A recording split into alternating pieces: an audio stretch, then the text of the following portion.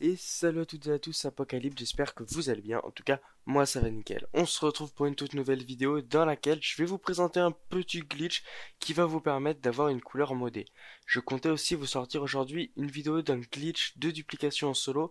Malheureusement, j'ai quelques petits problèmes pour la tourner parce qu'il est un petit peu aléatoire et je rencontre plein de bugs. Je ne veux pas vous présenter un glitch auquel je rencontre des bugs et auquel je ne saurais pas les résoudre.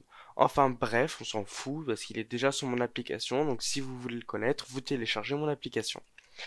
Là, on se retrouve pour un glitch qui va vous permettre d'avoir une couleur modée. Alors ce glitch va vous coûter quand même très cher, mais je vous le présente quand même.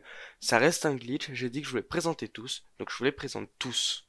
Donc c'est parti, pour faire ce glitch, vous aurez besoin d'avoir le bâtiment de l'arena. Vous aurez besoin de l'arène et de son atelier pour pouvoir transformer un véhicule.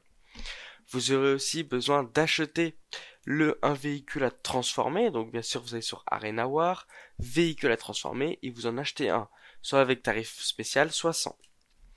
Une fois que vous l'avez reçu, vous montez dedans et vous allez faire flèche de droite pour aller dans l'atelier. Une fois que vous serez dans l'atelier, vous devrez mettre votre couleur crew parce qu'effectivement ce glitch va vous permettre d'avoir une couleur crew mat, c'est-à-dire vraiment foncée sans couleur. Donc ce que vous faites, c'est que vous allez dans transformer, enfin transformer. Vous allez dans l'atelier, vous sélectionnez les couleurs et vous mettez en crew.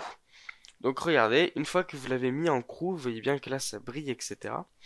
Vous allez aller dans transformation et vous allez transformer votre véhicule. Soit en apocalypse, soit en cauchemar. Anticipation, je sais pas si ça fonctionne, je sais que ça fonctionne en apocalypse et cauchemar.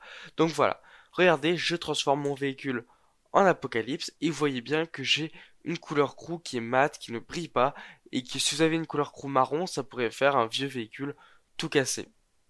Pour ceux qui me disent ouais de toute façon c'est normal, c'est tout le temps comme ça, ben non regardez, parce que si vous mettez une couleur crew, vous voyez bien qu'elle brille. Donc c'est bien un glitch qui vous permet d'avoir une couleur crew modée. Et après ce que vous pouvez faire, c'est que vous mettez une petite couleur nacrée voilà, vous la mettez par exemple rouge Torino et voilà, vous, êtes content, vous avez fait une petite couleur modée. Donc vraiment, c'est un petit glitch. Je vais vous dire, moi je vais vous dire très clairement, hein, c'est des types de glitch que je trouve inutiles, mais comme ils sortent et comme je sais que certains peuvent aimer, parce que ça peut faire stylé sur certains véhicules de l'arène, et eh ben je vous le présente comme ça maintenant, vous savez faire, vous pouvez le faire si vous en avez envie. Sur ce, moi je vous dis ciao tout le monde, bye bye, peace, over.